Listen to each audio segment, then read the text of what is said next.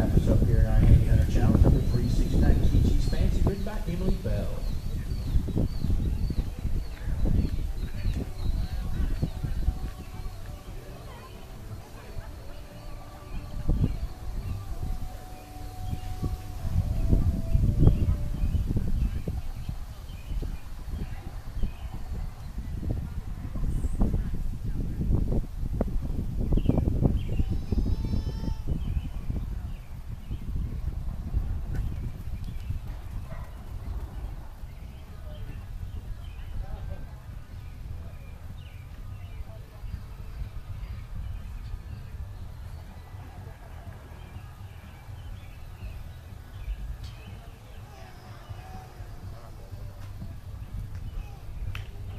Woo-hoo!